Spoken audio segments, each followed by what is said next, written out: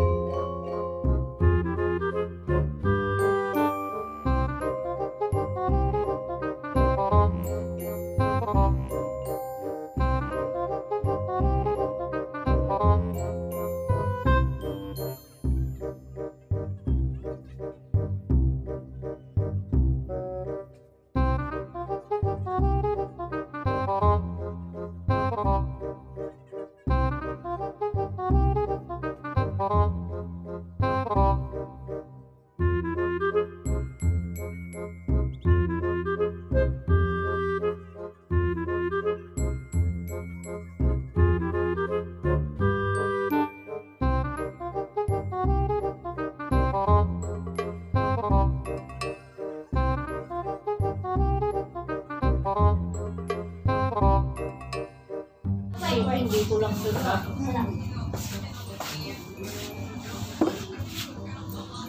Pang ano, may pang dalawa. Ito po yung kapatid niya. Papa-highlights din daw. Ingit sa kapatid.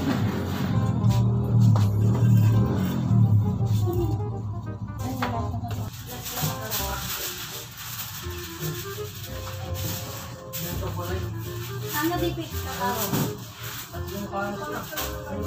Ah, ano na tuloy, natatakbakan na lang.